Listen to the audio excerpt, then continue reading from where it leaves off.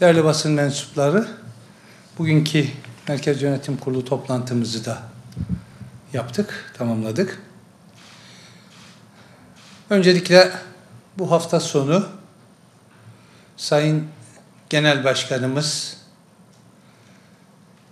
önceki Genel Başkanımız Sayın Deniz Baykal'ı ziyaret edecek. Onu sizlerle paylaşmak istiyorum. Almanya'da Münih kentinde tedavi gördüğü rehabilitasyon merkezinde kendisini ziyaret edecek. İyi haberler alıyoruz. Bu bizi sevindiriyor. Bir an önce sağlığına hızla kavuşup aramıza dönmesini, ülkeye dönmesini hem biz bekliyoruz hem Türkiye siyaseti bekliyoruz. Siyasetin bu kadar sıkıştığı bir süreçte, ülkeyle ilgili devlet sorunlarının bu kadar sıkıştığı bir süreçte Sayın Baykal'ın devlet birikimi, tecrübesi ve siyaset birikiminin Türkiye açısından çok önemli olduğunu biliyoruz. Kendisinin bir an önce sağlığa, sağlığına kavuşup aramıza katılmasını ve çalışmaya devam etmesini bekliyoruz. Sayın Genel Başkanımız da pazar günü Münih'te kendilerini ziyaret edecekler. Değerli arkadaşlar, geçtiğimiz hafta skandal sayılabilecek bir yargı uygulamasıyla karşı karşıya kaldık. Aslında Türkiye son zamanlarda buna benzer yargı skandallarıyla karşı karşıya kalmaya başladı. Anayasa Mahkemesi bir önemli dönüş yaptı kararlarında. Evrensel hukuka uygun karar verdi. Tutuklu bazı gazetecilerle ilgili hak ihlali kararı verdi. Tutuklanmaları hukuka uygun değildir dedi ve tahliye edilmeleri gerektiğine işaret etti. Şahin Alpay ve Mehmet Altan'la ilgili verdiği kararlardı. Tabi bir hukuk devletinde beklenen olması gereken şey şuydu. Anayasa Mahkemesi'nin bu kararından sonra derhal mahkemenin tahliye kararı vermesi. Başka bir deyişle mahkemenin Anayasa Mahkemesi'nin kararına uymasını bekledik. Beklerdik. Beklenen buydu üst mahkemenin kararına uymak zorundaydı. Ama mahkeme, tutuklama kararını veren, yargılamayı yapan mahkeme, Anayasa Mahkemesi'nin kararına uymak yerine AK Parti Genel Başkanı Recep Tayyip Erdoğan'ın talimatına uymayı yeğledi. Hukuka uymak yerine siyasetin emrine, iktidarın emrine uymayı yeğledi ve hatırlarsınız daha önce Can Dündar'la ilgili Anayasa Mahkemesi karar verdiğinde Erdoğan çıkıp demişti ki Anayasa Mahkemesi kararına uymuyorum, saygıda duymuyorum. Mahkemede buna uymasın, dirensin bu kararı demişti. Ne yazık ki o talimatı bugün mahkeme hatırladı ve dehşet verici bir şekilde Anayasa Mahkemesi kararını tanımadı. Bu suçtur. Mahkemenin yaptığı suçtur. Bir kere yüksek mahkemenin kararına uymamakla suç işlemiştir.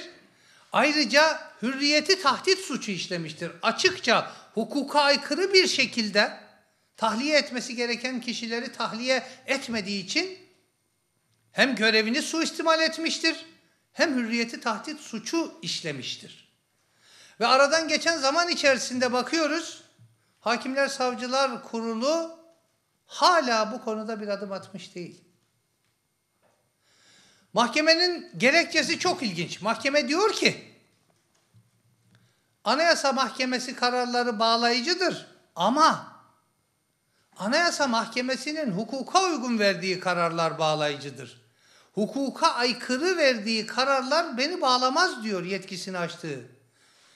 Yani ben Anayasa Mahkemesi'nin kararlarının hukuka uygunluk denetimini yapacak merciyim diyor. Sen kimsin?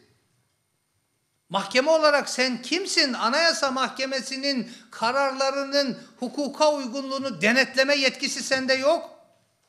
Böyle bir hukuk düzeni olur mu? Yarın aynı rahatlıkla bu mahkemeler Yargıtay'ın da hukuka uygun kararlarına ben uyarım. Direnme kararını bozsa bile hukuk genel kurulu Yargıtay'ın hangi organı olursa olsun hukuka uygun görmediğim kararlarını uygulamam deme yetkisi var mı? İdare mahkemelerinin, danıştayların, danıştayın hukuka aykırı kararlarına uymam deme yetkisi var mı? Böyle bir hukuk düzeni olur mu? Olmaz. Hukuk düzeninin olmadığı yerin adı darbe düzenidir. Türkiye hukuk düzeni altında değil, darbe düzeni altında yaşıyor. Bu kararın çok açık göstergesi 20 Temmuz darbesinin Türkiye'sidir. Bu tablo 20 Temmuz OHAL darbesinin 20 Temmuz OHAL düzeninin yarattığı bir tablodur.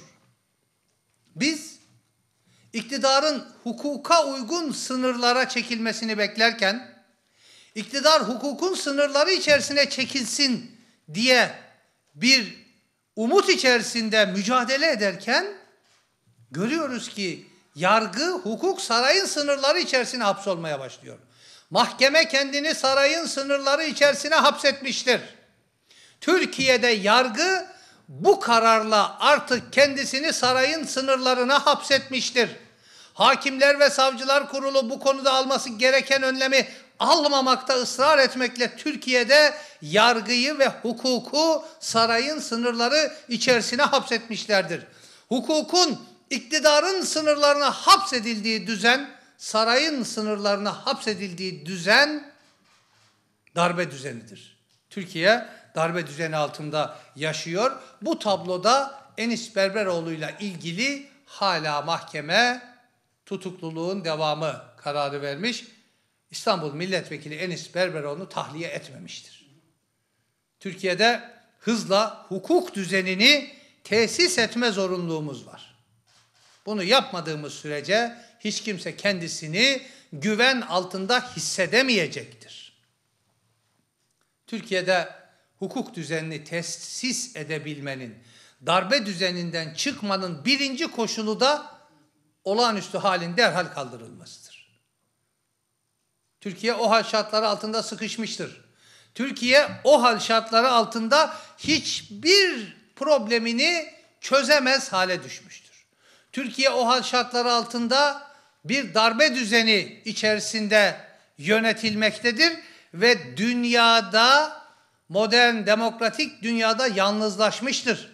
Uluslararası ilişkilerinde yalnızlaşmıştır. Türkiye dünyada özgür ülkeler sınıfında değildir. Yarı özgür ülkeler sınıfında olmaksı bile Türkiye'de Türkiye'ye layık görülmemiş ve en son özgür olmayan ülkeler düzeyine düşürülmüştür Freedom House'un son raporunda. Böyle bir tabloya Türkiye'yi getirdiler, mahkum ettiler. Şimdi Türkiye Büyük Millet Meclisi'ne indirecekler.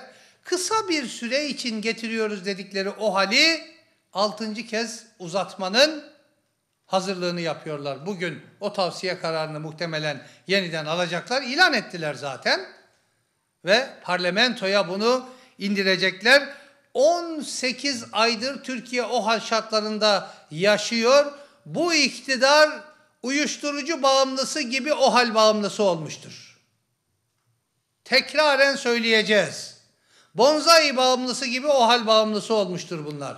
O halsiz yönetemez hale gelmişlerdir. O halsiz iktidar sürdüremez hale gelmişlerdir. Türkiye'nin bunların uyuşturucu müptelası gibi o hal müptelası olmaları bu milleti bir cendere altında tutmaktadır.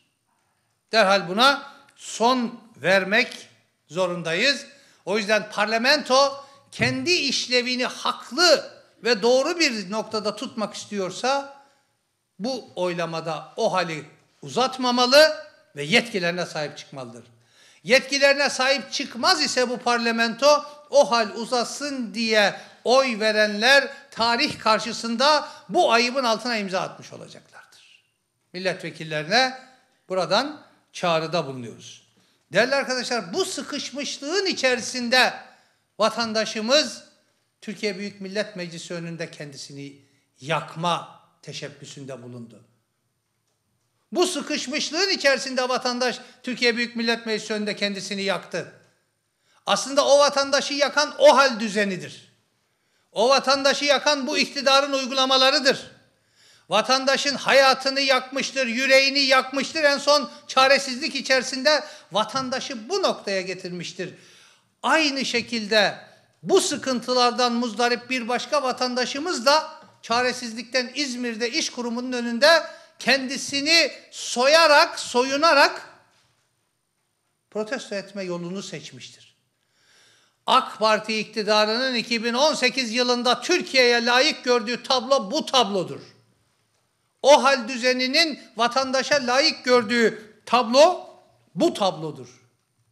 Asgari ücret 1603 lira, 2000 lira olsun dediğimiz zaman elinize dilizinize dursun diyen bir AK Parti Genel Başkanı Cumhurbaşkanlığı makamını işgal ediyor. İşgal ettiği Cumhurbaşkanlığı makamının bir dakikalık masrafı 1608 lira bir asgari ücretten fazla. Taksimetre çalışıyor. Dakikası bir asgari ücret. Dakikası bir asgari ücret. Kafalarını yastığa koydukları zaman sabaha kadar saray çalışmasa bile sabaha kadar her dakikada bir asgari ücret yiyen bir saray var. Canavar gibi. Asgari ücret canavarı, vatandaş canavarı. Ondan sonra e, vatandaşın çaresizliği bu. Gelip ya meclisin önünde kendisini yakan vatandaşların tablosu ya da iş kurumunun önünde gidip soyunan vatandaşların tablosuna Türkiye mahkum edilmiştir. Bu milletin ayıbı değildir. Bu iktidarın ayıbıdır. Vatandaşı bu hale düşüren iktidarın ayıbıdır. Bu ayıp o hali uzatmaya oy verecek olan milletvekillerinin ayıbı olacaktır. Eğer buna oy verirlerse bu düzenin devamına o milletvekillerinin de ayıbı olacaktır. Değerli arkadaşlar, bazı basın yayın organları haber bile yapamadılar. Kendisini yakmak zorunda kalan vatandaşı haber bile yapamadılar. O hal düzeninin getirdiği tablo böyle bir tablodur. Tabi bu gürültü patırtı içerisinde Sayın Erdoğan sanıyor ki cevap beklediğimiz bazı soruları unutturacağını sanıyor. Hatırlarsınız Man Adası belgelerini açıklamıştık. Bununla ilgili bir para transferi vardı. Bir poundluk şirket 15 milyon dolarlık ticaret yapıyordu. Yani 5 lira sermayesi olan şirket 60 bir 60 milyon liralık bir ticaretin merkezindeydi. Sayın Erdoğan çıktı. Bu, bu, bu şirket Sayın Erdoğan'ın yakınlarına dönük ticaretti bu. Sayın Erdoğan çıktı kendisi söyledi. Benim yakınlarım, akrabalarım şirketlerini sattılar dedi. O 15 milyon dolar yani 60 milyon lira, 60 trilyon bugünkü eski parayla benim akrabalarımın sattığı şirketin bedeliydi dedi. Soru sorduk aradan iki aya yakın zaman geçti. Sayın Erdoğan belgelere sahte dediniz savcılığa verdik. Dün de savcılığa bir dilekçe daha verdik. O dilekçede de ayrıntılı olarak şikayetlerimizi bildirdik ve dedik ki bunlar araştırılsın tek tek. Bu ticaret neyin ticareti? Bu şirketler nasıl kurulmuş? Kalem kalem nelerin araştırılması gerektiğini dün uzun bir dilekçeyle Ankara Cumhuriyet Başsavcılığına verdik. Belgeleri teslim ettiğimiz, o sahte dedikleri belgeleri, gerçek belgeleri teslim ettiğimiz savcılığa taleplerimizi de ileten dilekçeyi verdik. Şimdi kamuoyu önünde Erdoğan'a bir kere daha soruyorum. Unutturmaya çalıştığı soruyu soruyorum. Kendisinin kamuoyu önünde söylediği, arkasını getirmediği soruyu soruyorum. Sayın Erdoğan, yakınlarınız hangi şirketi satmıştır? 15 milyon dolarlık şirketin adı nedir? Ne zaman kurulmuştur? Bilançosu ne kadardır? 15 milyon dolar edecek mal varlığı nedir? ne kadar vergi ödemiştir, ne kadar zamanlık bir ticari faaliyeti vardır. Bunların tamamı cevaba muhtaç. Çünkü sen Cumhurbaşkanlığı makamını işgal eden birisin ve sen AK Parti Genel Başkanısın. Yetkili bir noktadasın. Olağanüstü hal kanun hükmünde kararnameler senin iki dudağın arasından çıkan sözler. Memleketi padişah fermanıyla yönetir hale geldiniz 21. yüzyılda. E şimdi o zaman bunu açıklamak zorundasın. Millete borcundur bunu açıklamak. Hangi şirketi sattınız Sayın Erdoğan? Akrabalarınız hangi şirketi sattı? Bu şirketin 15 milyon dolar edecek neyi vardı? Ne zaman bu mal varlığına kavuştu? Nasıl kavuştu? Bu soruların cevabını bekliyoruz. Erdoğan bu soruların cevabını vermek yerine bizim il başkanımızla uğraşmanın peşinde. Çünkü başka türlü çıkış yolu bulamıyor kendisine. Eğer geçmişte bir şeyleri dönüp araştırmaya kalkacaksanız, Sayın Erdoğan, bizim hiçbir partilimize söyleyecek bir sözün yoktur. Çünkü senin yanağında hala Hikmet Yarın dizinin sıcaklığı vardır. Hikmet Yarın dizinin sıcaklığı şakağında duruyor daha. Şakağının sıcaklığı soğumadı. Geçmişteki fotoğrafları eğer arşivlerden indirecek olursanız, olursak arşivlerde boğulursunuz, arşivlerde boğulursunuz. Türkiye Cumhuriyeti'nde başbakanlık yapmış, şimdi de Cumhurbaşkanlığı makamını işgal eden birisine yakışan fotoğraflar mıydı o fotoğraflar?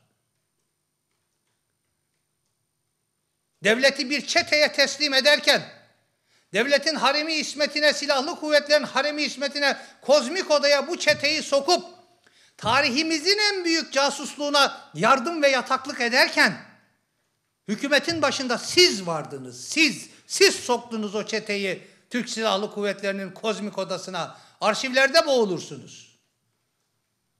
Onun için önümüzdeki günlerde bu soruların cevabını kendisinden bekliyoruz. Arkasını bırakmayacağız. Değerli arkadaşlar, tabii sıkıntılı bir süreçten geçiyoruz bölgede. Sınırlarımızın ötesinde daha önce de söylediğimiz gibi sınır bölgelerimizde, Suriye'nin kuzeyinde, Irak'ta ülkemizin güvenliğini tehdit edecek adımlara ve her türlü girişime karşı birlikte cesaretle karşı koymak zorundayız. Bunda hiçbir tereddüt yok. Bu mesele bir iktidar muhalefet meselesi değildir. Başından beri bunu söyledik ve bu noktada Türkiye'nin sınırlarının dibinde Türkiye'nin güvenliğini tehdit edecek şekilde terör yapılanmalarına destek veren bir müttefiklik anlayışı kabul edilemez. Ülkenin Türkiye'nin müttefikiyim diyerek kalkıp yanı başımızda bu terör oluşumlarına verilecek desteğe yüksek sesle hep beraber karşı çıkacağız. Bununla ilgili hiçbir tereddüt yoktur. Ama bunları yaparken bir başka şeye daha dikkat edeceğiz. Diplomasiyi hamasete kurban etmeyeceğiz. Diplomasiyi bırakmayacağız. Hamasete kurban etmeyeceğiz. Bölgede başından beri tutumumuz açıktır. Suriye'nin toprak bütünlüğü önemlidir. Bunu dinamitlerseniz Türkiye'nin güvenliğini tehdit altına sokarsınız demiştik. Ama Emevi Camii'nde namaz kılma sevdası içerisinde olanların Süleyman Şah Türbesi'nde abdestleri bozuldu. Türkiye şimdi böyle bir tabloyla karşı karşıya kaldı. Şunun sorgulanması zaruridir. Bu oluşumlara karşı durarken Türkiye'yi bu problemli eşiğe taşıyan politikalar neydi? Bunları da soracağız. Bunları unutturarak, bunları geçiştirerek süreç yönetmek mümkün değildir. Çünkü bu yanlışlar bizi bu noktaya getirmiştir. Yani şimdi çıkıp kalkıp esip kükreyeceksin. Salih Müslim'i devlet protokolüyle ağırlayan hükümet kimin hükümetiydi? Bu terör yapılanmasını devlet protokolüyle Türkiye'de ağırlarken bu ordunun oluşumunun, bu çetenin oluşumunun, bu yapının oluşumunun, bu bu Türkiye'yi tehdit eden ya grupların oluşumunun altyapısına destek vermedin mi? O fidana su döken sen değil misin? Bunun hesabını millete vereceksin. Türkiye kendi kendine bu tablonun içerisine sürüklenmedi. Burada. Değerli arkadaşlar, birileri dışarıda kendi hesabını yapabilir. Ama sen içeride ona karşı kendi milli hesabını yapmak durumundasın. Aklına gelince yerli ve milli lafını hovardaca kullanamazsın. Kendi iç siyasetinin malzemesi olarak kullanamazsın. Yerli ve milli olmaktan bahsediyorsan, Oslo'da Türkiye Cumhuriyeti Devleti'ni bir terör örgütüyle yabancı devletlerin hakemliğinde masaya oturtmaktan önce utanacaksın ve o utancı milletle paylaşacaksın. Bunu paylaşmadan sen çıkacaksın. Ondan sonra kendi dışındaki herkesi gayrimilli ilan edip kendini yerli ve milli ilan edeceksin. Kalkıp çadır mahkemelerine davulcu zurnacı yollamayacaksın. Hakim savcı yollamayacaksın çadır mahkemelerine. Bölgedeki yapılanma can suyunu buralardan aldı. Senin bu uygulamalarından aldı. O dönem bu yapılanmalara bu can suyunu verirken bugünleri göremeyen bir iktidar bugün de yarınları göremeyerek hamaset edebiyatıyla bir başka iç siyaset malzemesi yakalamanın peşinde. Türkiye'nin en büyük problemi dış politikadaki milli meselelerin iç politika malzemesi olarak hoyratça bu iktidar tarafından kullanılmasıdır. Derhal bundan vazgeçin ve bu milli meselede ciddi bir biçimde ortak bir duruşu birlikte gösterelim. Değerli arkadaşlar, hafta sonu itibarıyla il kongrelerimizi tamamladık. İlçe kongrelerimiz, il kongrelerimiz bitti. Türkiye'nin her yerinde Cumhuriyet Halk Partisi'nin kurultayına giderken alt kademe, örgüt kademelerindeki kongrelerimizi tamamladık.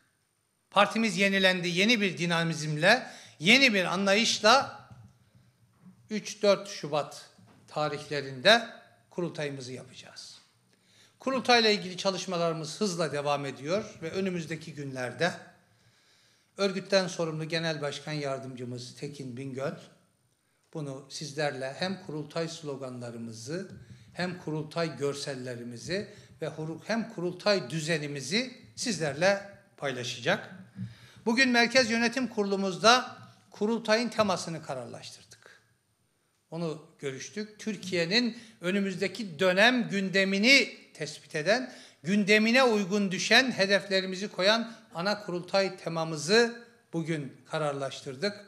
Değerli arkadaşlar, 2017 yılı Türkiye için önemli bir süreçti. Hatırlarsanız 2017 yılında Türkiye bir önemli referandum geçirdi. O referandumda bir tarafta tek adam rejimi diyenler, bir tarafta demokrasi diyenler büyük bir demokrasi buluşması, büyük bir hayır buluşması bir araya geldi. Sonra adalet yürüyüşünde çok daha geniş bir adalet buluşmasını bir araya getirdik. Parti ayrımı yapmadık. Milliyetçi, muhafazakar, sağcı, solcu, CHP'li, MHP'li, AK Partili, HDP'li, başka bir partili, hiçbir vatan partili hiçbir ayrım yapmadan herkese açık, kendisini nasıl tarif ediyorsa etsin, adalet isteyen herkesi toplayacak bir büyük şemsiye açtık. Ve o şemsiyenin altında adalet yürüyüşünü gerçekleştirdik. Sonra adalet kurultayını gerçekleştirdik ve o adalet kurultayında demokrasi, adalet ve huzur hareketi başladı. Sayın Genel Başkanımız sonuç bildirgesinde bunu ortaya koydu. Türkiye'de yapılan bütün araştırmalar toplumun adalet istediğini, adalet isteğinin en üst noktaya, doruk noktaya ulaştığını gösteriyor. Adalet ihtiyacının yükseldiğini gösteriyor. Huzur arayışının yükseldiğini gösteriyor ve bir şey daha gösteriyor. Korku topluma egemen olmuş. Herkes bir çıkış arıyor. Korkuyu yenmeye ihtiyacı var toplumun. Mahkemeler korkuyor, yargı korkuyor, hakimler korkuyor. Üniversiteler korkuyor, sivil toplum örgütleri korkuyor, sendikalar, dernekler korkuyor. Bizim dışımızda birçok siyasi yapılanma korkuyor. Toplum korkuya teslim edilmiş ve korkuyla iktidarı yürütmek isteyen bir anlayış var. Yıllar önce bir miktar sevgiyle geldikleri iktidarı korkuyla yürütmek isteyen bir anlayış var. O hal KHK'larıyla korkuyu besleyen bir iktidar var ve bunun için toplumun cesarete ihtiyacı var. Cesaretle bir çıkışa ihtiyacı var. Önümüzdeki dönem hem adalet isteğinin hem cesaretli bir çıkışın yılı olacak bu kurultaydan sonra. Bu nedenle toplumda korkuyu yenecek ve adaletsizliği giderecek bir temayla gidiyoruz 36. olan kurultayımıza. Kurultayımızın teması adalet ve cesaret kurultayı olacak. 36. olan kurultayımız adalet ve cesaret kurultayı olacak. Adalet ve cesaretle yürüyerek Türkiye'de bütün bu problemleri ortadan kaldıracak bir yeni doğuş, bir yeni inşa sürecini hep beraber başlatacağız. Hepinize teşekkür ediyorum. Sorularınız varsa cevaplayabilirim. Efendim izninizle iki sorum olacak. Birinci, Hanımefendiden demiştim sonra size. Ee, ittifak Pozitif tartışmaları, ayrımcılık yaptık o yüzden. ittifak tartışmaları da var şüphesiz gündemde. Bu noktada e, Milliyetçi Hareket Partisi'nden e, gelen açıklamaların ardından aslında tansiyon yükseldi. Özellikle CHP ve MHP arasında çok sert eleştiriler devam ediyor. Yine bugün Semih Yalçın ve Erkan Akçay'dan partinize yönelik e, eleştiriler geldi. MHP'ye yönelik eleştirilere e, yanıt vererek e, FETÖ ile PKK ile birlikte yürüdüğü CHP'li gibi ifadelerle eleştiriler e, yapılıyor ve ittifak sürecine ilişkinde e, CHP lideri Kemal Kılıçdaroğlu'nun yaptığı bir açıklama hatırlatıldı. Önümüzdeki süreç ittifak süreci demişti Kılıçdaroğlu. İşte o süreç başladı. CHP sözcülerinden neden tepki geliyor bu sürece diye MHP'den açıklamalar geldi. Nasıl değerlendiriyorsunuz gelen açıklamaları? Arkadaşlar, e, hem Sayın Semih Yalçın'ın hem MHP yetkilisi diğer arkadaşların açıklamalarını ibretle ve dikkatle izliyoruz. Tabii söyleyecek çok şey var ama herhalde buna en uygun düşecek atasözlerimizden birisi körle yatan şaşı kalkan, kalkar atasözüdür. Milliyetçi Hareket Partisi AK Parti'ye yanaştığı ölçüde onun dilini de devşirmeye ve devralmaya başlamış. Kutuplaşma siyasetini meziyet sayan ve herkese hakaret etmeyi maharet sanan Erdoğan'ın dili görüyoruz ki MHP sözcülerine ve yetkililerine de sirayet etmiş. Körle yatan şaşı kalkar atasözünün bir başka tezahürüyle karşı karşıyayız.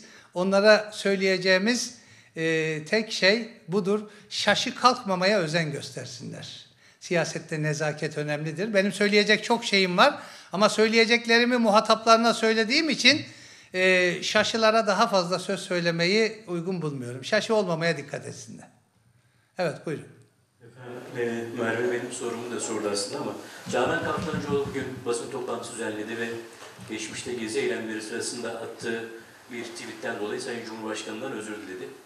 Bu konuda neler söyleyebilirsiniz? Yani Sayın İl Başkanımız e, siyasette çok unutulan nezaketin de ne olduğunu o e, basın toplantısında göstermiş oldu.